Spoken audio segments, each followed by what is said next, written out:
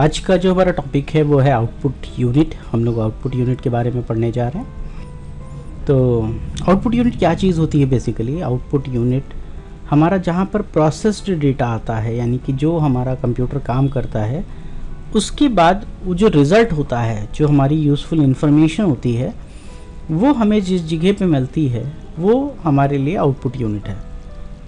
अब output units में कई तरीके के आउटपुट आते हैं।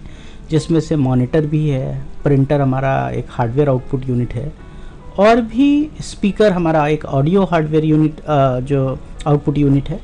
तो हम लोग आज इन टॉपिक्स के बारे में कवर करेंगे, हम इनके बारे में पढ़ते हैं। तो यहाँ पर हमारा जो पहला टॉपिक स्टार्ट होता है, जहाँ पर हम लोग आउटपुट यूनिट के बारे में पढ़ेंगे। तो सबसे पहले हम स्टार्ट करते हैं मॉनिटर्स के बारे में पढ़ना। तो output unit the output device display the result of the processing of raw data that is entered in the computer through an input device input device के माध्यम से जो भी डेटा रॉ डेटा डाला जाता है, वो सब आउटपुट यूनिट पर हमें दिखाई पड़ता है।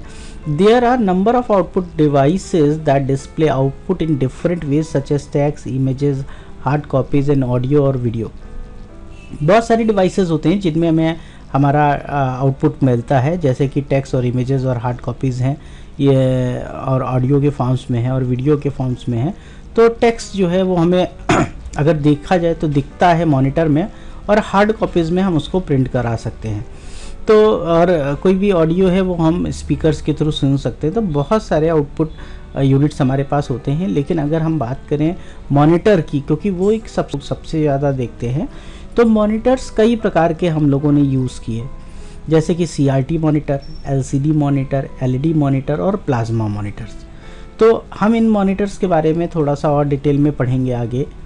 अभी प्रिंटर्स की बात करें तो प्रिंटर्स में हमारे पास इम्पैक्ट प्रिंटर और दूसरा non impact printers impact printers और नॉन इम्पैक्ट प्रिंटर्स तो इम्पैक्ट प्रिंटर्स वो प्रिंटर्स होते हैं जहाँ पर मीडिया जो है वो हेड को टच करके काम करता है और ये थोड़े से स्लो होते हैं। तो इम्पैक्ट प्रिंटर्स में हमारे दो तरीके के प्रिंटर्स आते हैं, जैसे कि कैरेक्टर प्रिंटर और लाइन प्रिंटर अब कैरेक्टर प्रिंटर्स में डॉट मैट्रिक्स प्रिंटर्स और डेजी व्हील प्रिंटर्स आते हैं और लाइन प्रिंटर्स में ड्रम प्रिंटर्स और चेन प्रिंटर्स आते हैं। ये किस तरीके से काम करते हैं, ये भी हम लोग अभी आगे पढ़ते हैं, लेकिन नॉन इम्पैक्ट प्रिंटर्स की अगर हम बात करें तो ये बहुत फास्ट प्रिंटर होते हैं और इनकी क्वालिटी बड़ी अच्छी होती है। तो यहाँ पर लेज़र प्रिंटर हमारा नॉन इम्पैक्ट प्रिंटर होता है और इंकजेट प्रिंटर भी हमारा नॉन इम्पैक्ट प्रिंटर होता है। तो ये प्रिंटर्स हैं जिनके बारे में हम डिटेल करेंगे अभी। और फिर आता है प्रोजेक्टर तो प्रोजेक्टर भी एक आउटपुट डिवाइस है जो हमारे आ, स्क्रीन को काफ़ी बड़े साइज़ में एक पर्दे पे या वाइट कलर की वॉल पर हम देख सकते हैं आउटपुट अपना ले सकते हैं। तो इस तरीके के आउटपुट डिवाइसेस हैं जहाँ पर हम मॉनिटर के बारे में बात करें तो monitor is the display unit और a screen of the computer it is the main output device that display the process data और information as a text image audio और वीडियो अभी क्या होता है कि इस मॉनिटर पर हम ये सारी इन्फॉर्मेशन को देखते हैं, चाहे वो टेक्स्ट की फॉर्म में, चाहे इमेज की फॉर्म में हो।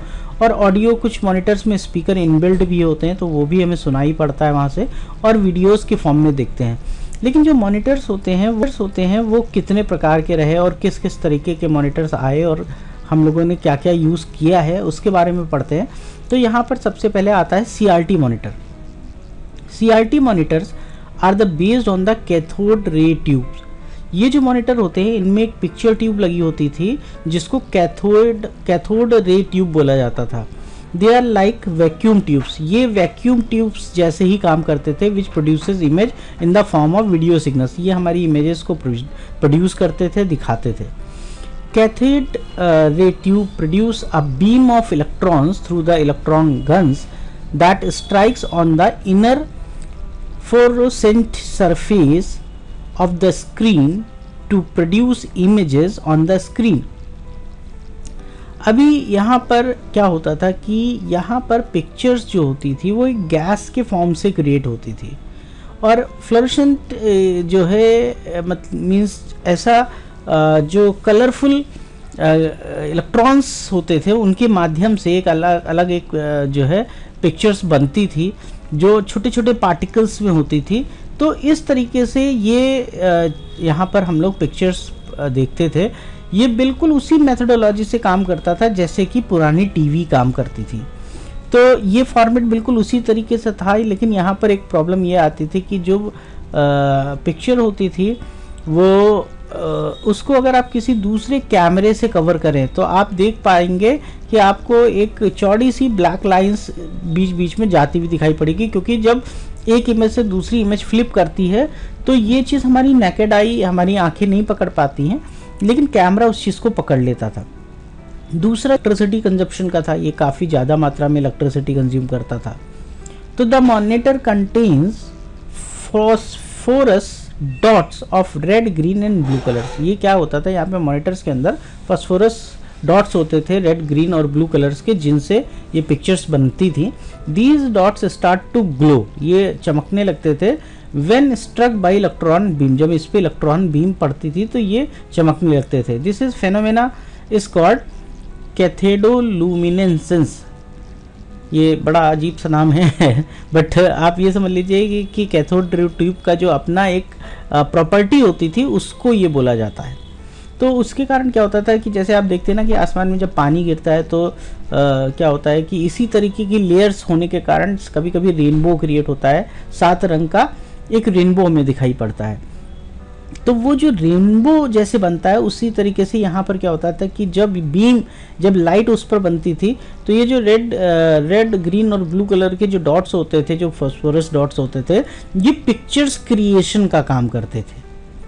तो यहाँ पर हम लोग इस तरीके से यहाँ पर जो इमेजेस आती थी the main component of the C R T include the electron gun assembly यहाँ पर uh, जो उसका मेन कंपोनेंट होता था सी आर टी का वो इलेक्ट्रॉन गन असेंबली होती थी।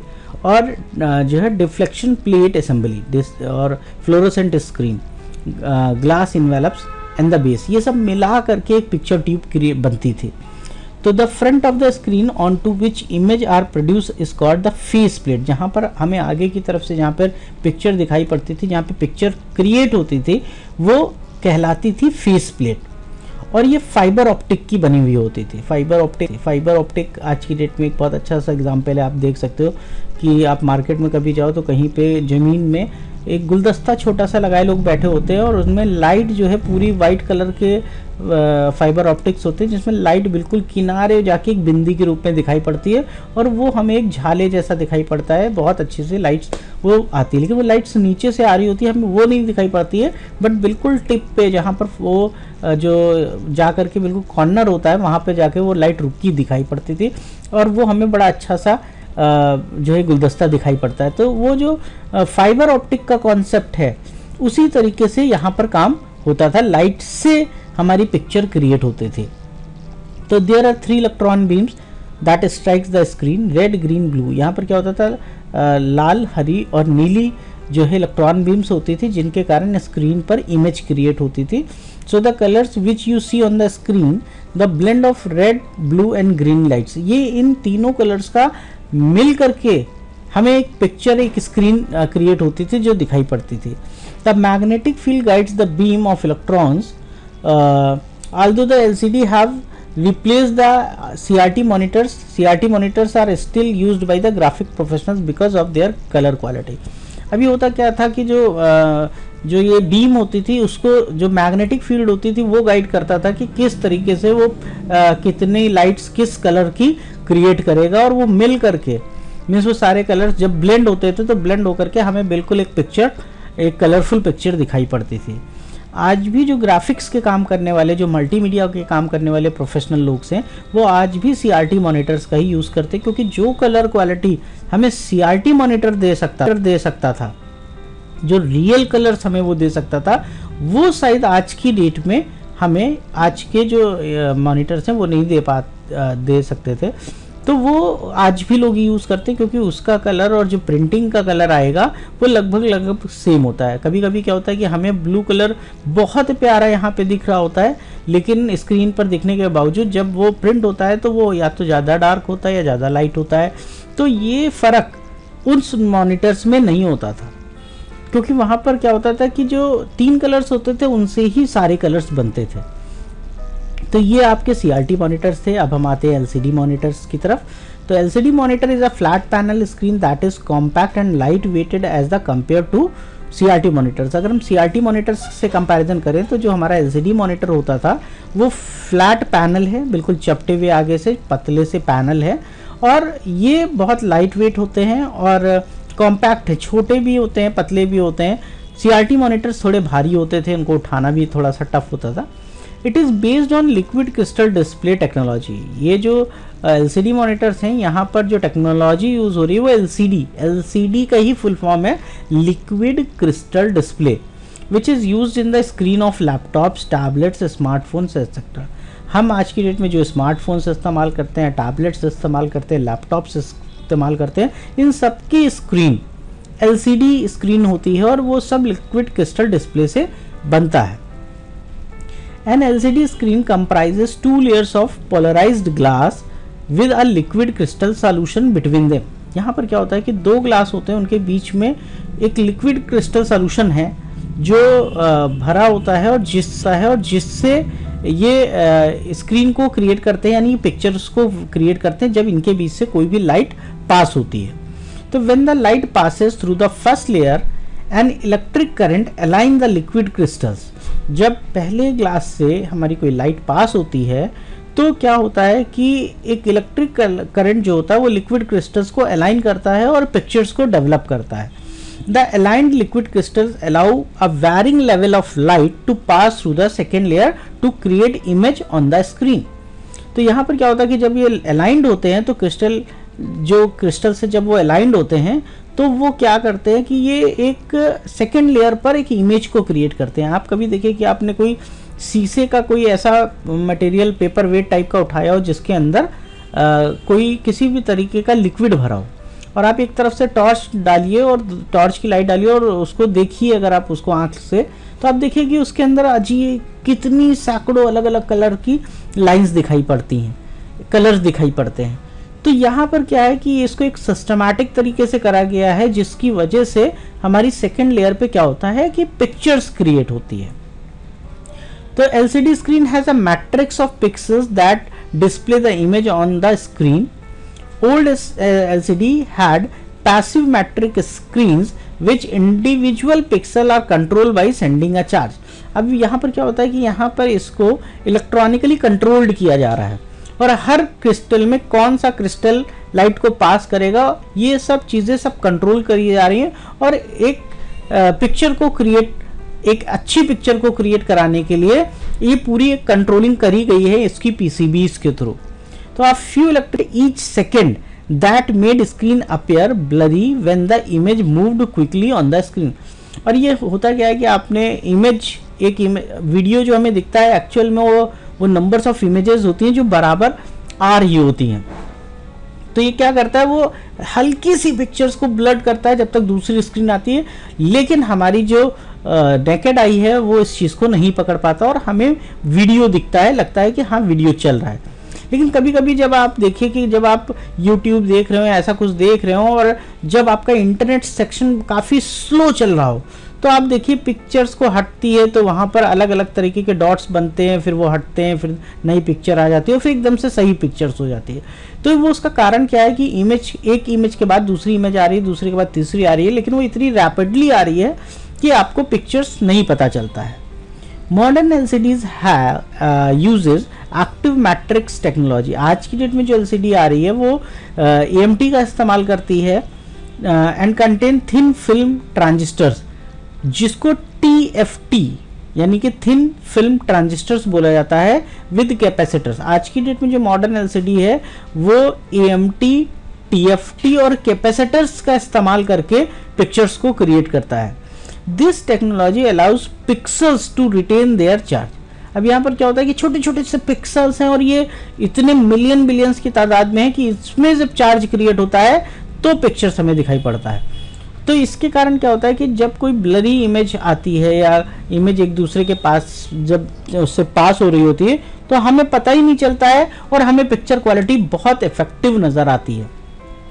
तो आज की डेट में ये टेक्नोलॉजी ही इस्तेमाल हो रही है, इस्तेमाल हो रही है। तो यहाँ पर एलसीडी जो पिक्चर्स क्रिएट करता था, वो इस तरीके से था बट पावर एफिशिएंसी की अगर हम बात करें तो एलसीडी की सी आर से काफ़ी कम पावर कंज्यूम करता था। अब उसके बाद अगर हम बात करें तो एल ई डी मोनिटर्स आए। L E D monitors the L E D monitors is an improved version of L C D monitors L C D monitor से भी बहुत इम्प्रूव्ड रहे आपके L C D L E D monitors it has also a flat panel display and uses liquid crystal display technology like L C D monitors ये भी flat panel हैं और ये भी एल सी डी यानी liquid crystal display technology का इस्तेमाल करते हैं। लेकिन डिफरेंस क्या है? The difference between them lies in the source of light to backlight the display यहाँ पर अंतर यह है कि जो हमारा सोर्स लाइट है उसका और जो बैकलाइट पे स्क्रीन पे बैकलाइट जाती है उसका।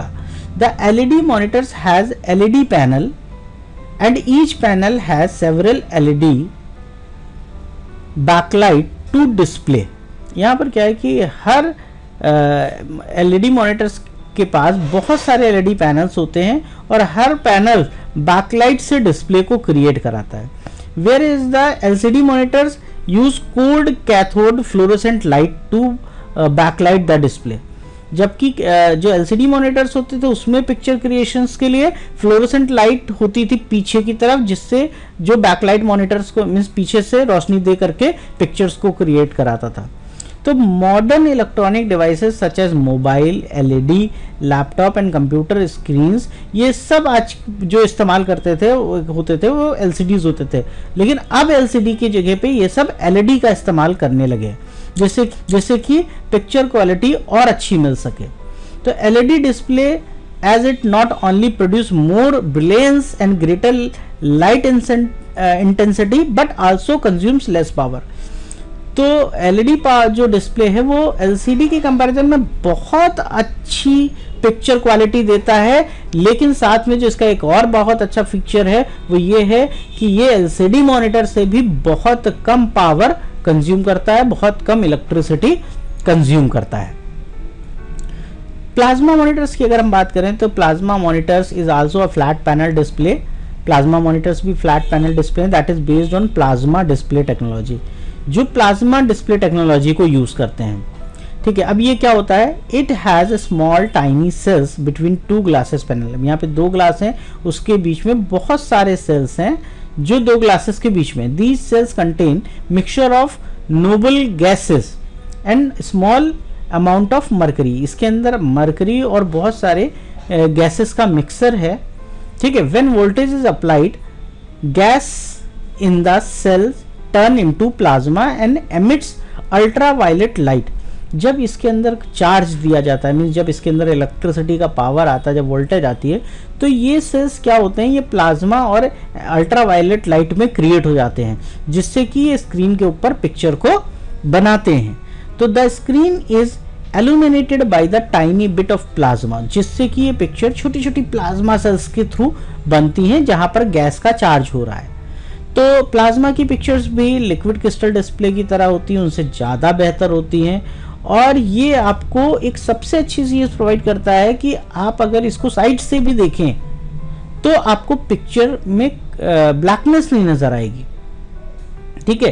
तो also wide viewing angle then LCD LCD में आप साइड से देखोगे तो पिक्चर ब्लैक होती चली जाएगी। एलईडी में और प्लाज्मा में ऐसा नहीं होता है। तो plasma monitors provides high resolution जिनका रेजोल्यूशन 1920 पिक्सल से 1080 पिक्सल तक होता है, ये एचडी क्वालिटी बोली जाती है।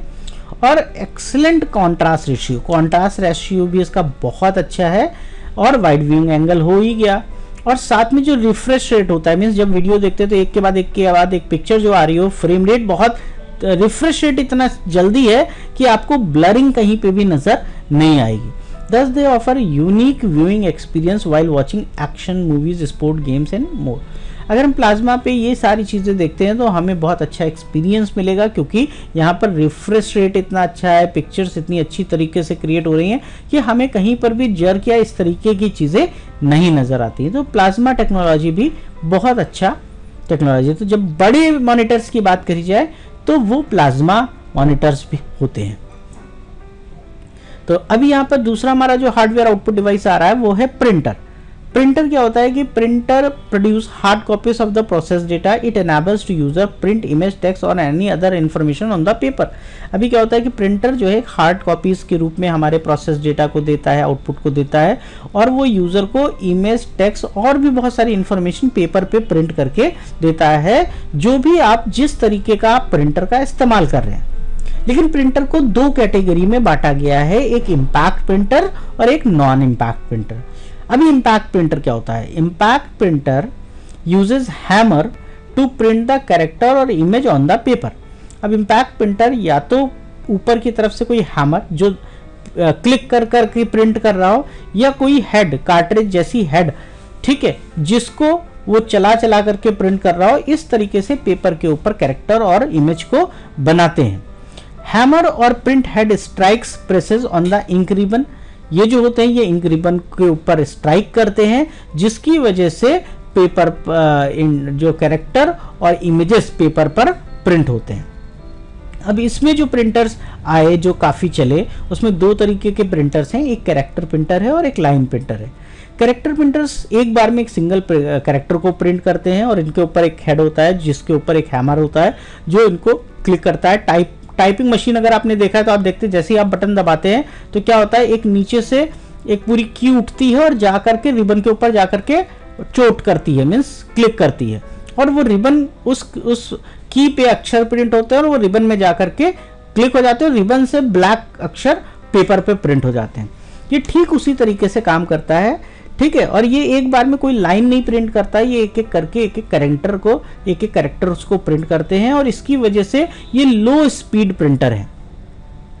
तो करेक्टर प्रिंटर्स के जो दो प्रिंटर्स हैं जो बहुत ज़्यादा चले आज के टाइम पे, वो एक डॉट मैट्रिक्स प्रिंटर है। डॉट मैट्रिक्स प्रिंटर डॉट्स के रूप में लेटर्स को क्रिएट करता है। ठीक है, और ये सरकारी विभाग में आज की डेट में बहुत ज़्यादा चलते हैं, जहाँ पर प्रिंटिंग की बहुत ज़्यादा ज़रूरत होती है। आप जाते हैं, आप देखते हैं, वो एक प्रिंटर लगता है और किर्र किर्र करके आवाज़ें आती हैं और उसके बाद पेपर पे प्रिंटर प्रिंट कर देता है। तो वो सब डॉट मैट्रिक्स प्रिंटर हैं। तो डॉट मैट्रिक्स प्रिंटर एक इम्पैक्ट प्रिंटर इम्पैक्ट प्रिंटर है करेक्टर प्रिंटर है और एक बार में एक करेक्टर को प्रिंट करता है और ये इसका पैटर्न जो है डॉट्स के रूप में प्रिंट कराने का है। This pattern are produce by striking the ink soaked ribbon against the paper with a print head अभी क्या होता है कि रिबन होता है बीच में, जिसके ऊपर जो हेड होता है वो स्ट्राइक करता है जिसकी वजह से पेपर पर प्रिंट होता है। तो print head contains pins produce a pattern of dots paper to form the individual character यहाँ पर क्या होता है कि जो प्रिंट हेड होता है, उसमें पिंस होती हैं, जिसके ज़रिए पैटर्न ऑफ़ डॉट्स को क्रिएट करता है और उसमें से इंक निकल करके पेपर पे प्रिंट होती है, जिससे कि हमारा एक सिंगल करेक्टर प्रिंट होता है।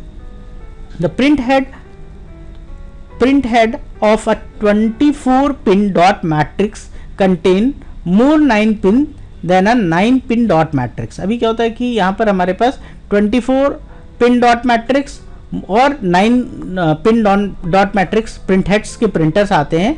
So it produces more dots which result is better printing of characters अभी जो क्या होता है कि जो nine pin dot matrix printer आते हैं जो twenty four pin dot matrix printer आते हैं इसमें से जो ज़्यादा पिन डॉट मैट्रिक्स प्रिंटर है, उनके करेक्टर्स ज़्यादा अच्छे दिखाई पड़ते हैं, क्योंकि वहाँ पर पास पास में अगर डॉट्स लगा करके कोई चीज़ भरी गई है तो वो आपको देखने में अच्छी लगेगी।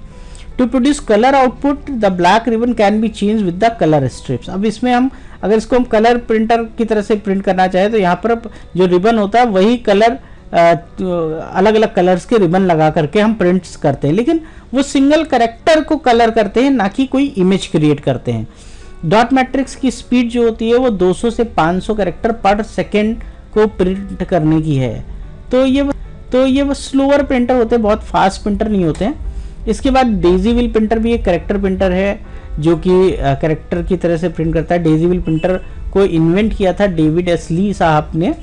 ठीक है, जो एक कंपनी के लिए, एक डेटा सिस्टम्स के लिए डेवलप किया गया था और इट कंसिस्ट ऑफ़ व्हील और disc has spokes extensions and look like a daisy so its name daisy wheel printer जो डेजी का फूल होता है, जो फ्लावर होता है डेजी फ्लावर का नाम है। तो यहाँ पर क्या होता है कि इसमें उसी तरीके से चारों तरफ़ स्पोक्स बने होते हैं। ठीक है, जिनके वो चलते हैं गोल गोल पहिए की तरह से और ये जा करके उस पर प्रिंट करते हैं। तो ये भी इसीलिए इसका नाम डेजी के नाम से ही डेजी प्रिंटर पड़ा।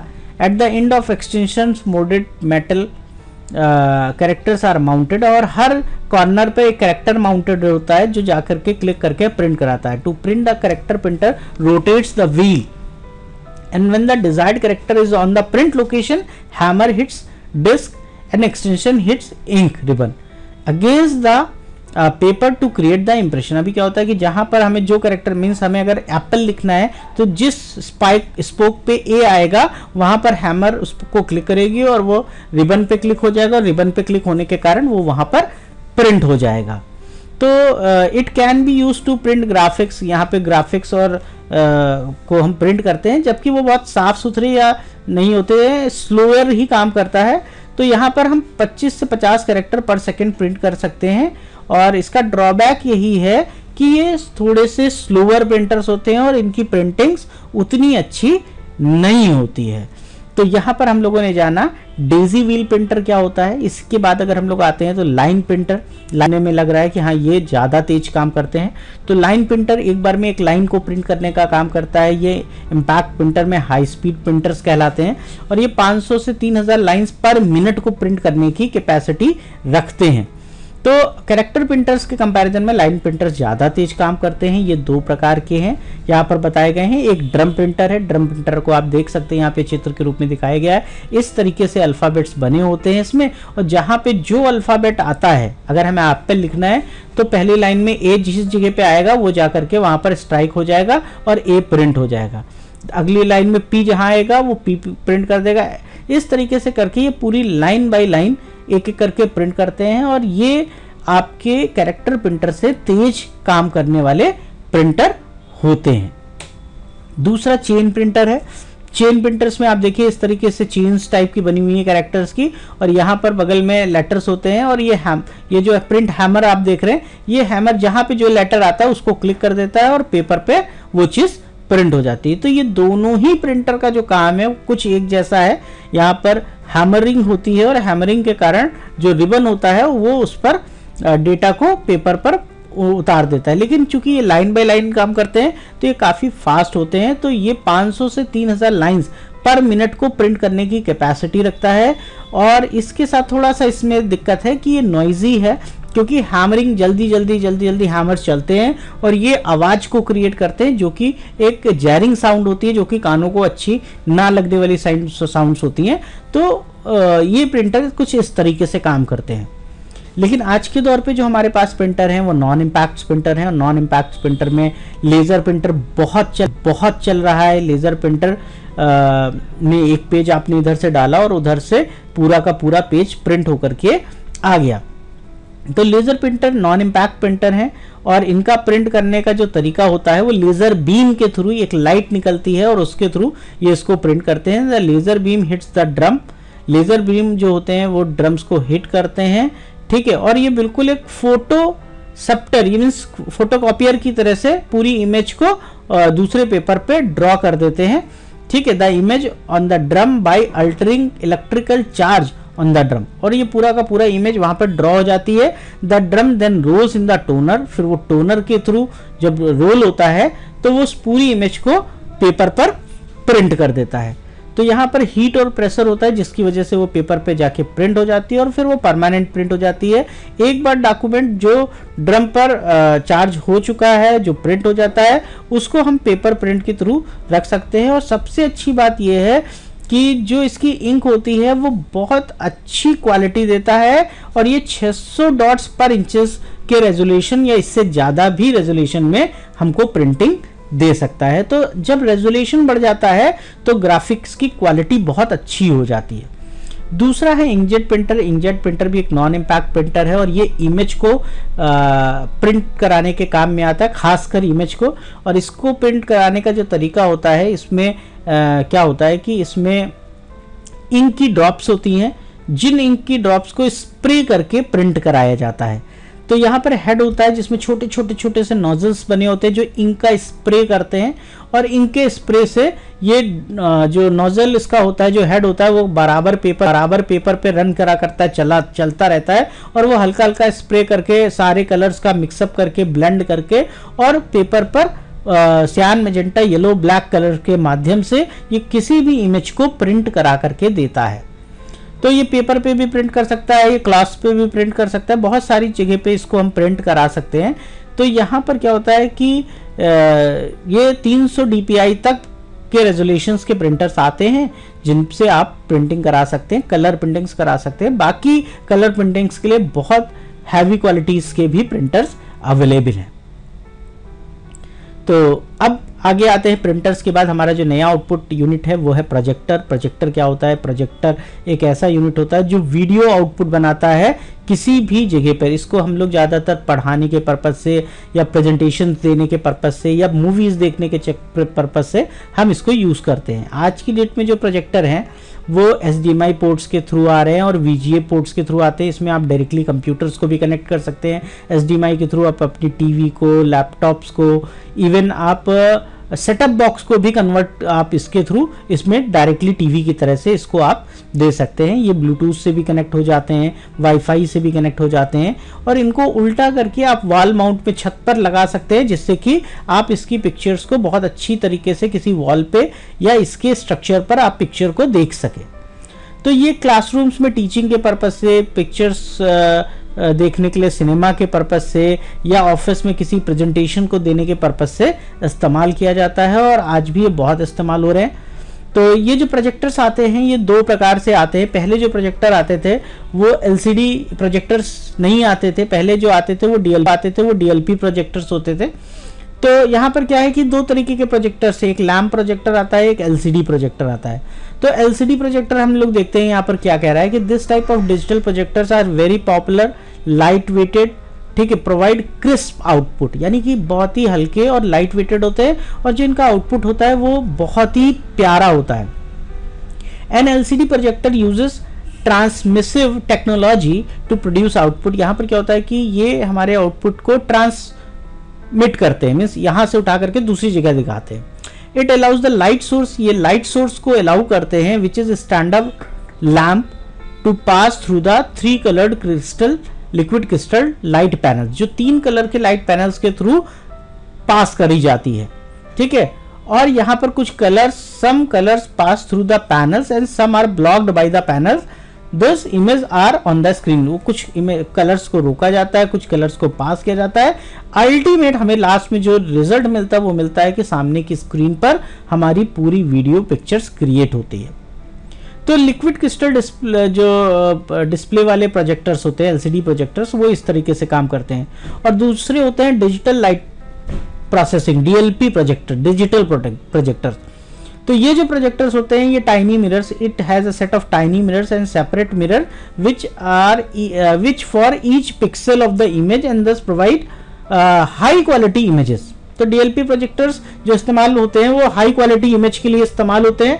और हाई क्वालिटी इमेज का मतलब है कि जैसे मूवीज़ और थिएटर्स में जो प्रोजेक्टर्स इस्तेमाल किए जाते हैं, वो डीएलपी प्रोजेक्टर्स होते हैं क्योंकि इनकी क्वालिटी जो है, वो बहुत प्यारी होती है। तो दो तो आज की डेट में, आज की एरा में जो प्रोजेक्टर इस्तेमाल कर रहे हैं, वो एलसीडी प्रोजेक्टर्स है और जब इनका कोई प्रोफेशनल लेवल पे यूज़ किया जाता है बड़े प्रोग्राम्स के लिए तो वहाँ पर हम लोग डीएलपी प्रोजेक्टर्स का इस्तेमाल करते हैं। अब बात आती है आउटपुट यूनिट में स्पीकर्स की, जो कि हमारे वॉइस म्यूज़िक को साउंड को कंप्यूटर से आउटपुट लाने के काम में रखे जाते हैं। तो यहाँ पर क्या है it receive sounds in the form of electric current और साउंड कार्ड्स इनको डिजिटली कन्वर्ट करता है साउंड फॉर्मेट में और हमें एक अच्छी साउंड सुनाई पड़ती है। तो स्पीकर भी एक आउटपुट डिवाइस है और साथ ही हम लोगों ने इनपुट आउटपुट और प्रोसेसिंग सारे यूनिट्स को ख़त्म किया। होप सो आपको पूरी नॉलेज मिली है और अगर आपको कोई डाउट है तो आप अपने टीचर के साथ कंसल्ट कर सकते हैं। Thank you